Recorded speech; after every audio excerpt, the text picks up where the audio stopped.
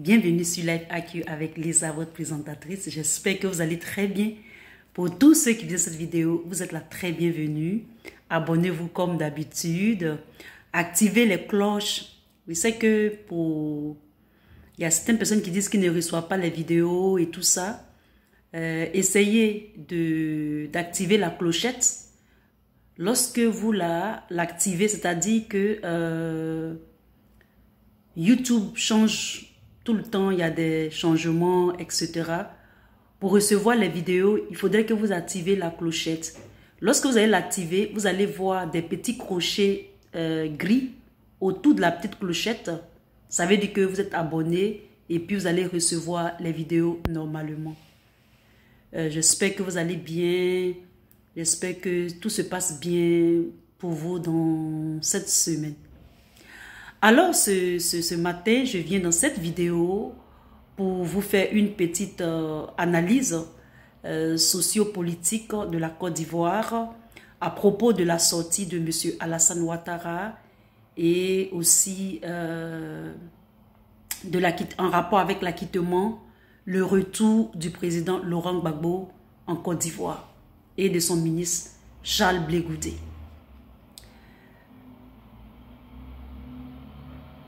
C'est vrai, je multiplie un peu les vidéos parce que ben, notre euh, OPA, il est sorti. Euh, ils sont sur le point de, venir en Côte d'Ivoire, mais nous sortons euh, plus ou moins pour dire notre avis, pour donner des idées à tous ceux qui, qui, qui sont préoccupés par ce retour, qu'est-ce qu'il faut faire, qu'est-ce qu'il ne faut pas faire, les failles, etc., etc. Nous le faisons parce que ben, nous sommes plus ou moins prudents, parce que la dictature que M. Alassane Ouattara euh, exerce en Côte d'Ivoire est, est criant, et sinon une dictature est criante et aussi alarmante à propos de nos, personnalités politiques qui ont succombé, qui ont su passer. Il n'y a jamais eu d'enquête, en fait, il n'y a pas de justice en Côte d'Ivoire. Nous sommes comme dans un cycle, comme dans une pièce théâtrale qui est jouée simplement par le pouvoir de M. Ouattara. Beaucoup d'hommes se sont réjouis parce que M. Alassane Ouattara a, euh, fait comprendre que ben, le président Laurent Gbagbo pouvait revenir, sa famille allait être prise en charge, euh, ils seront bien, ils vont recevoir des salaires, etc., etc. Mais euh, connaissant le personnage, connaissant M. Alassane Ouattara, dans cette vidéo, euh, partagez-la, you know, méditez sur ce que je vais dire, cette petite analyse, et que cela, vous le notez, et nous verrons la suite. Vous savez, les Ivoiriens, plus ou moins, nous connaissons M. Alassane Ouattara. Lorsque M. Alassane Ouattara voulait s'introniser, nous avons fait des milliers de vidéos et à la dernière minute, c'est l'armée française qui est venue sécuriser l'endroit même où il a fait son intronisation. Et nous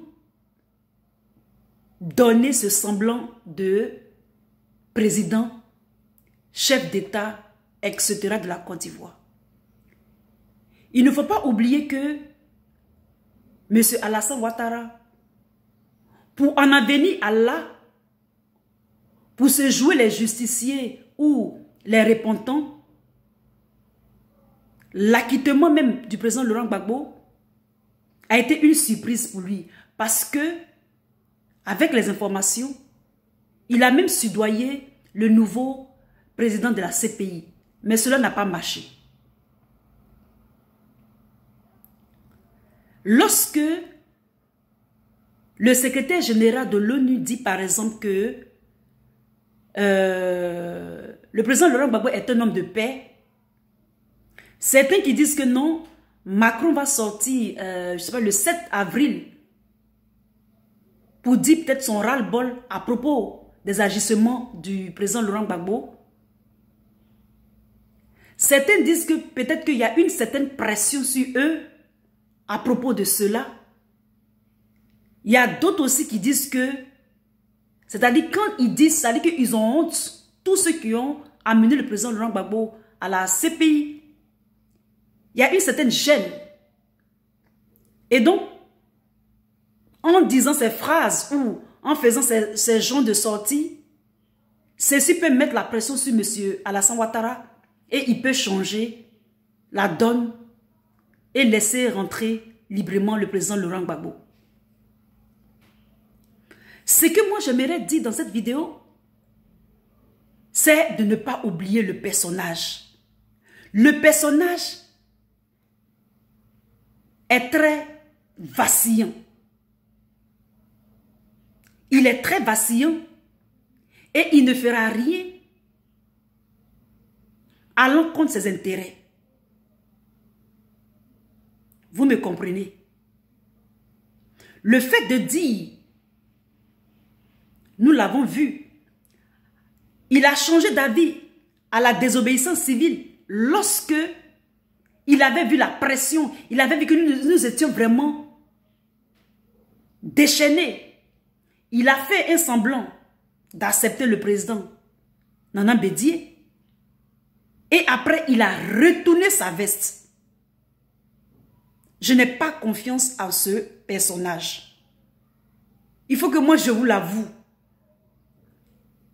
Vous allez voir que, après ce discours majestueux qu'il a fait, pour faire croire que le président Laurent Gbagbo pouvait venir en toute liberté, en toute sécurité, et que sa sécurité sera comme celle de la Suisse ou des États-Unis, qu'il était vraiment en sécurité. Entre-temps, son frère à l'armée, à tous les âmes de la Côte d'Ivoire sont, sont enterrées quelque part, sont changées quelque part, sont déplacées. Je ne fais pas confiance à ce monsieur.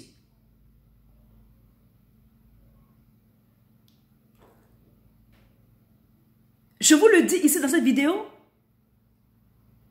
lui, il a fait son discours. Son, agent de presse ou son communicant de soi-disant gouvernement a fait un autre discours contraire impliquant cette histoire de justice indépendante. Vous voyez? Si moi j'étais à la place du président Laurent Gbagbo, j'allais expérimenter. C'est-à-dire quoi?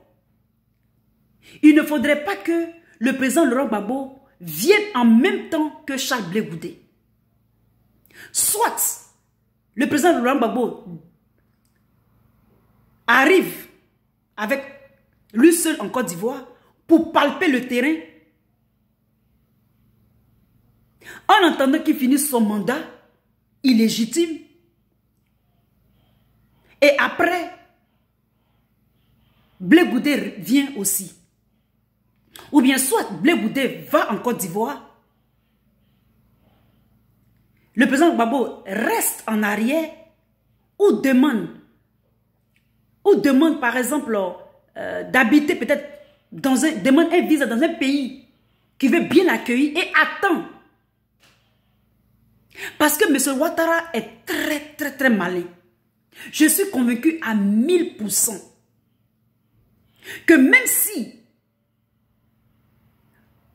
d'après un frère activiste qui dit que euh, il a même donné une instruction à Sansan Kambiré disant que s'il faisait appel, il fallait forcément le condamner. C'est-à-dire quoi? C'est-à-dire ce qui n'a pas réussi à l'étranger, il va le réussir en Côte d'Ivoire. Parce que là, il a tous les mallettes, sinon tous les manettes pour tirer les ficelles. Et vous savez que ce monsieur, il n'a jamais rien respecté. Il est dans son élément. Tant que son fils n'a pas fait un deuxième mandat de la troisième république, après peut-être que c'est sa femme qui a fait un premier mandat de la quatrième république, il ne va jamais accepter. Je dis bien jamais. Moi, je vous ai dit dans une vidéo nous, le troisième mandat de M. Alassane Ouattara, nous n'allons jamais le cautionner. Il en arrive à là pour se donner une certaine carrure qu'il est vraiment le chef de l'État de la Côte d'Ivoire, mais il est illégal.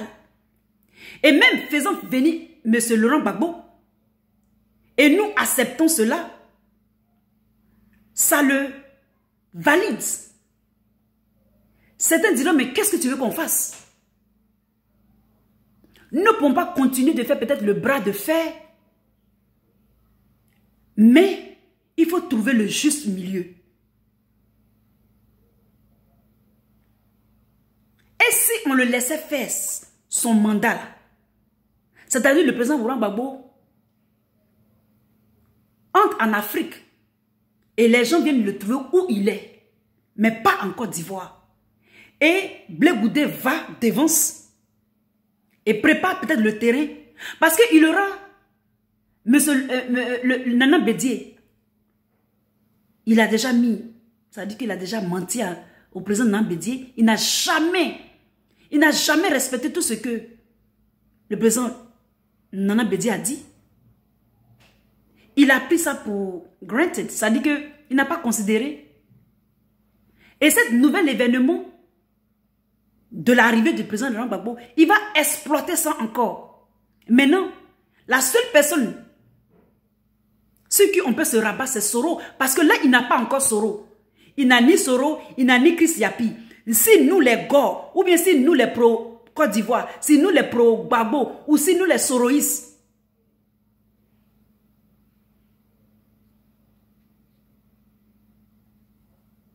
Si nous, les Soroïs, excusez-moi, si nous les Soroïs,